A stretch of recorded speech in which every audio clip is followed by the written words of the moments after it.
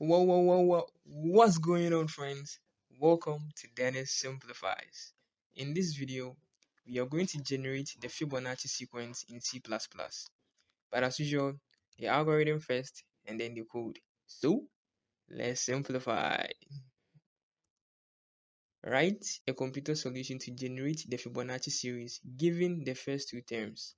For example, if the first two terms of a series are 0 and 1, the next term is obtained by adding the two preceding terms, etc.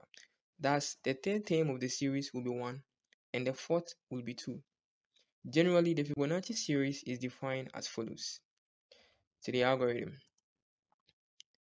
we are going to ask the user to enter the first two terms. Again, we are going to ask the user to enter the number of terms of the Fibonacci sequence he or she will want to generate. Now, with our first and second terms, we can go ahead and generate the next term in the sequence, which is the first term plus the second term. To display the sequence we just generated, we are going to print them all out. That is, the first term, the second term, and the next term. We won't like to end here. We want to generate more terms in the sequence.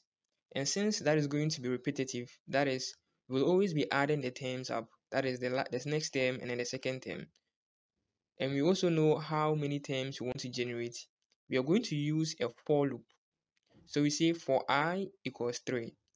For i equals 3 because we have already printed out 3 terms.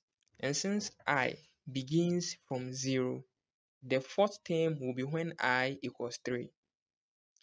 And the loop should continue to run as long as i is less than the number of terms.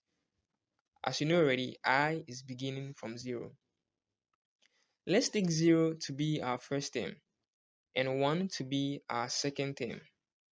To generate the next term, we are going to add these terms up, that is 0 plus 1 which gives us 1, which will be the third term. Now, to generate the next term after this one, we are going to make the second term, which is 1, the first term. And also make the next term, which is also 1, the second term. And then add these current first and second terms up to generate the next term. Now on generating it, we print, we print out the values for the value for next term and then we end for. Now we are going to use we are going to be using the same idea that is make the second term the first term and the next term the second term and then sum them up until the for loop ends. So this is the algorithm for generating the Fibonacci sequence. Alright friends, that's it for the algorithm. Let's take a look at our code in C++. But before then, I will encourage you to pause the video, give it a like, and subscribe. Very well, to our code in C++. In the int main function, I declare the first term, second term, next term, and the number of terms as integers. Then I ask the user to enter the first term. I take the integer value, enter the second term, I take the integer value, enter the, the number of terms, and I take the integer value as well. I then generated my next term and then printed out the results. Now, I have my for loop which will repeatedly generate the next terms using the concept I already explained.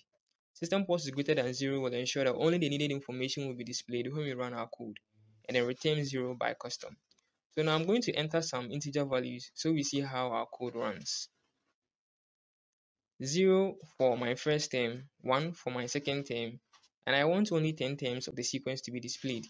On pressing enter via my keyboard, it displayed the first 10 terms of the Fibonacci sequence.